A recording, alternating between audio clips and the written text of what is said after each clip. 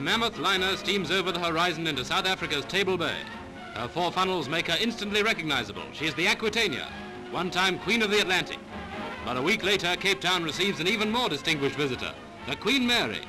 She crossed from New York to Cape Town without any escort of warships. And that's just about as great a triumph as the Queen Elizabeth's historic maiden voyage across the Atlantic.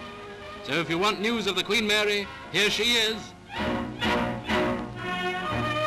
Meanwhile, halfway across the world in Los Angeles, the British cruiser Caradoc comes in to refuel and load supplies. The people of Los Angeles marvel at her mighty armaments, her big guns, her anti-aircraft guns, her torpedo tubes and depth charges. So this is what we mean by the freedom of the seas. Freedom to roam unmolested, keeping the sea lanes open, that the vast resources of our empire may continue to flow into our war effort.